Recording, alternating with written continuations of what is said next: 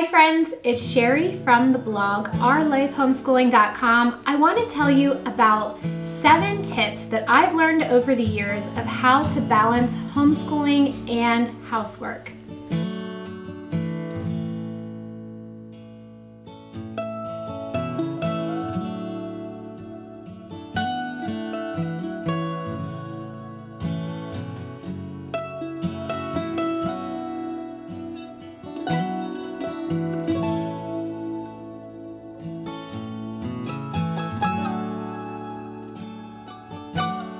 If this is your first time on my channel, I want to introduce myself. My name is Sherry. I'm a homeschooling mom to 10 kids. I've been married to my high school sweetheart Nelson for 24 years. This is our 15th year of homeschooling. We have one graduate, we have seven in school, and then two preschoolers. I love coming on my channel every week and encouraging other moms. I love bringing you alongside of us, letting you see what a day in the life looks like in our homeschool.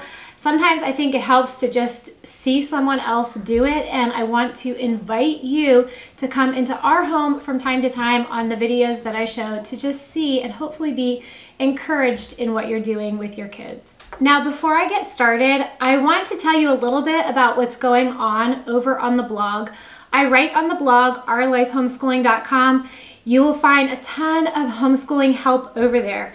I have probably 50 posts all on homeschooling encouragement.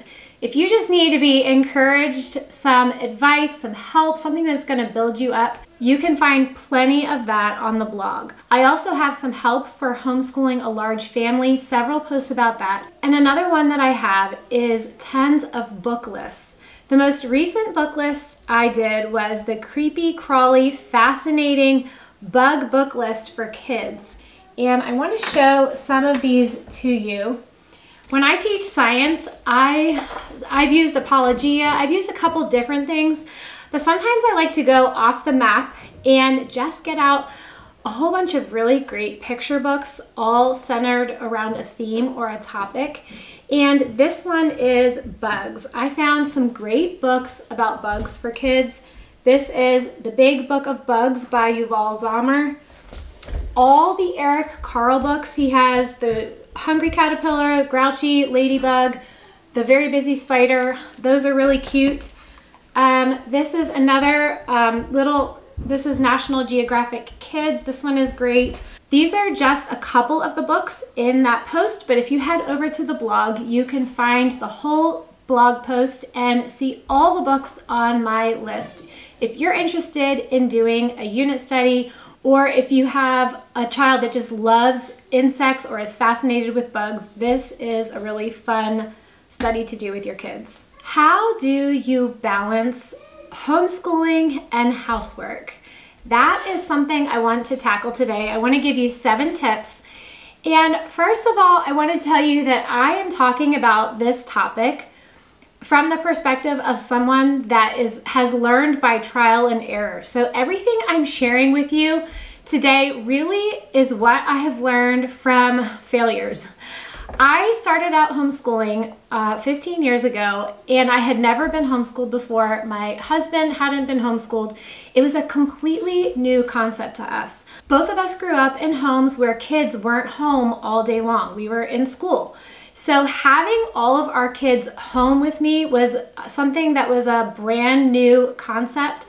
So learning how to manage that alone was a lot. Keeping a house when you have kids in it all day was something that was a foreign concept to me and something brand new that I just had to figure out how to make it work.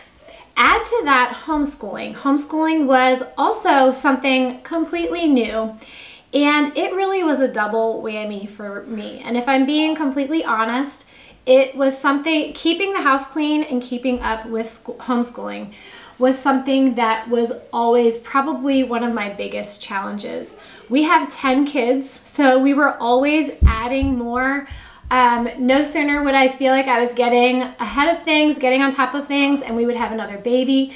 And you know, when you have a baby, that your home is a little bit in survival mode for the first six months, a year, until you just adjust to that new family member. So the new the newness of having kids in our home all day as well as learning how to homeschool. Those two things were something that I had to learn by trial and error. So I'm not sharing these tips from anything that I've read in a book, from anything that I've studied. These are things that I've learned over the years from the experience of homeschooling our 10 kids and keeping a home. The first tip is to have an established chore system and make it a part of your school day. I used to think that if we could just get past the initial cleanup in the morning, if everyone did their chores, that we could just, then we could finally get to the important part of homeschooling.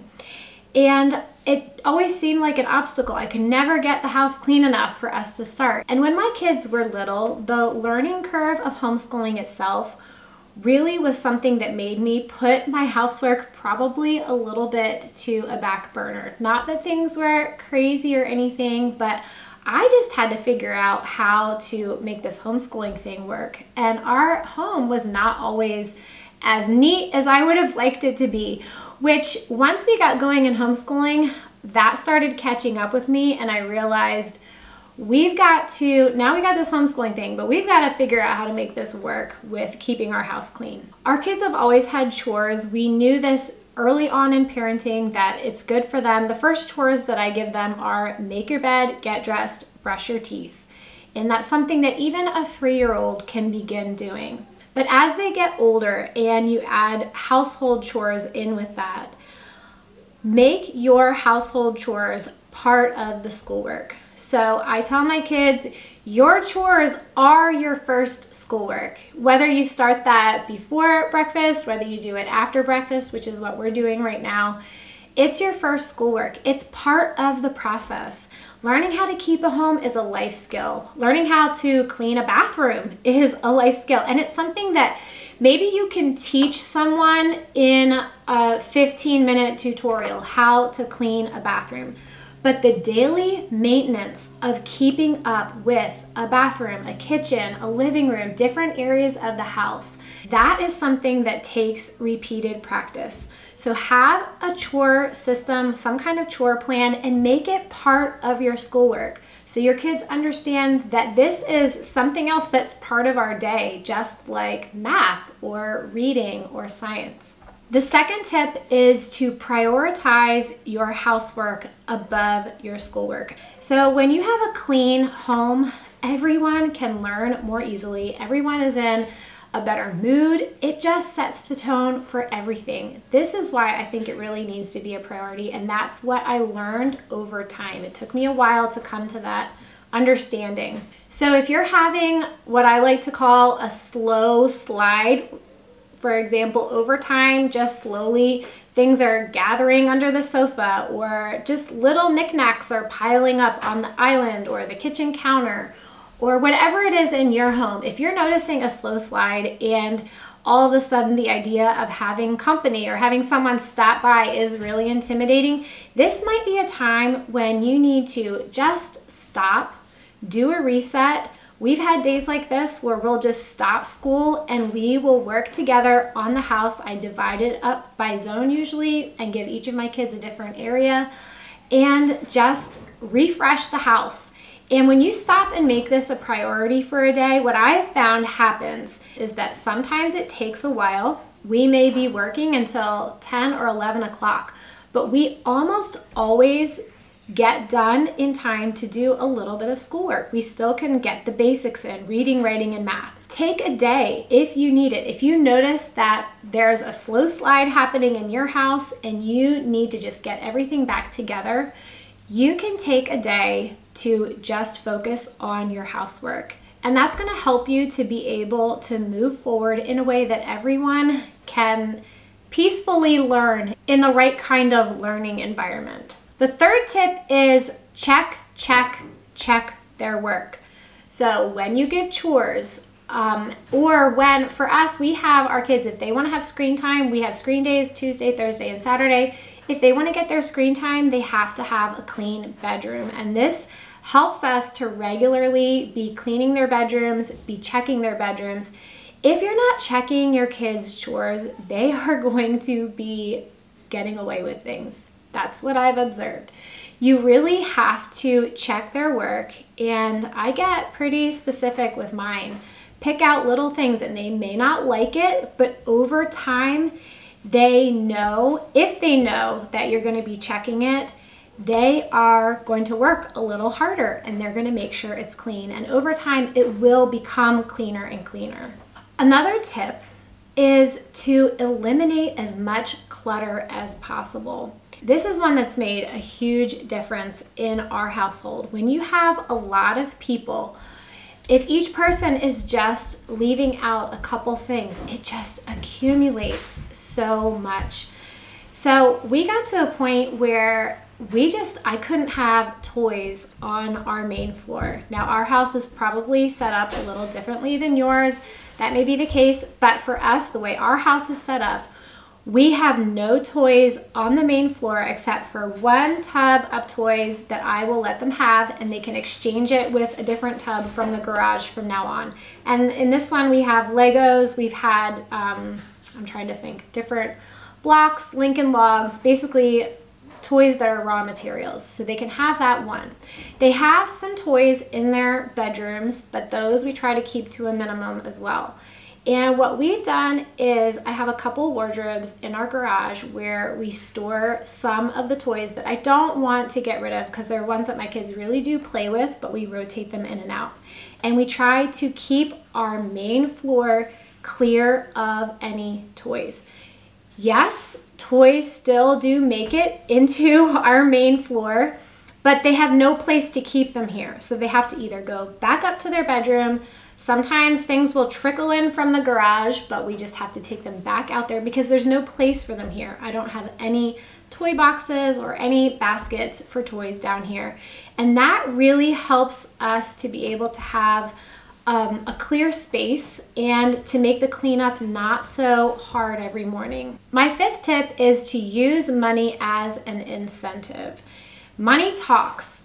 So there are some chores that are above the normal ones. So normally we do, we have living room, schoolroom, kitchen, we have someone cleaning the upstairs bathroom. Like I said, we divide it into zones. These are just someone doing the kitchen, of course.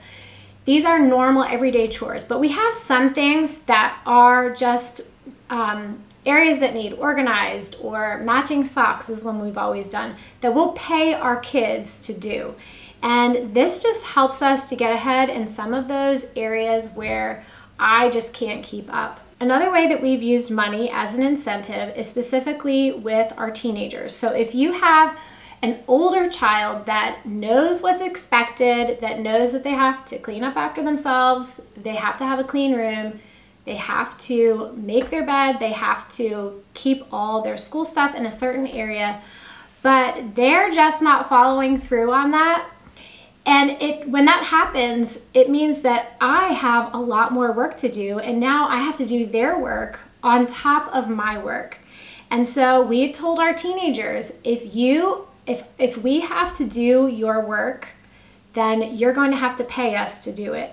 And so this may not be popular, but it works. If it's not fair to the family if I can't do my job because I have to do someone else's job. So use money as an incentive. And um, I think obviously within reason, charging money is definitely a last resort, something we only do with older kids. But like I said, it's not fair to the family if I have to do my work and a couple other people's work because they're not taking care of their space and cleaning up after themselves. Another tip, and this is one that should be so obvious, but it took me many years to figure this one out. If you have just random things that you're finding um, just problem areas in your home, have a family meeting. So whenever you sit down, maybe when you put the kids to bed, maybe during morning time, whatever it is, if there are things you notice, and I'm thinking um, just random, random items like someone's not hanging their towels up in the bathroom or maybe a spot in your house where everyone's just leaving their junk. If you have different problem areas, have a family meeting and sit down and target them. Just talk about how these things have to change. Just outline it. And maybe even if you have a whiteboard, just write them down, make it visible for people to see. But sitting down, gathering everyone, and just addressing it. This is something that should be obvious, but it's something that I really, I think it's only the past maybe five years that I started doing this. Just addressing it, taking everyone together and just addressing the problem areas. The next tip is if you are overwhelmed, a general rule of thumb is that your kids can do more. And I was reading recently a study where it talked about how kids that have chores, kids that are taught to work from a young age, are more confident, they're more capable because they can do more tasks. They're familiar with different skills. Over the years, maybe you can relate to this, I had many times where I would get frustrated because I was in the kitchen for so long. I couldn't get outside, I couldn't get to some of the hobbies and the things that I wanted to enjoy. I was spending so much time serving my family by cleaning up, making meals. And when this happens, when the mom feels exhausted, if you feel overworked, if you get depressed, it's a great time to reassess can my kids do more to help me? One person should not be doing all the work. Your kids and you should all everyone should be working together to make the house run. That should be the motto. Everyone works together to get it done. So if you find yourself overworked and sometimes when you have all little kids there is not any easy way around this. There is a period of time when they're all young that you are doing a lot of foundational work until you get a couple older kids that can do more but a general rule of thumb is if you're overwhelmed if you're exhausted your kids can help you more Find ways that they can contribute to the work that you have to do. And the last thing I want to leave with you is to remember that your house is a home. It's to be a loving, warm environment for your children to grow in. It's not supposed to be a showcase for a Southern Living magazine. Your home is a place for your family. Now, the Bible says, where there are no oxen, the crib is clean. So, if you have an empty house, it's easy to keep it clean. But much increase comes by strength of the ox. So, if you have a lot of children, a lot of people in your home, if you're managing a lot, then it's not going to be pristine. It's not going to be perfectly clean but you are accomplishing a lot. You're producing a lot. So think of your home that way. It's a tool, it's a place for your children to grow. It's a place for you to be useful and productive and creative.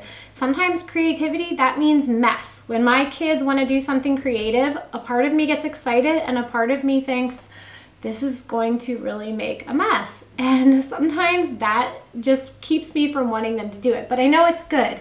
Your home is not supposed to be um, a, place that, that's perfect. It shouldn't always be spotless. Your kids live here.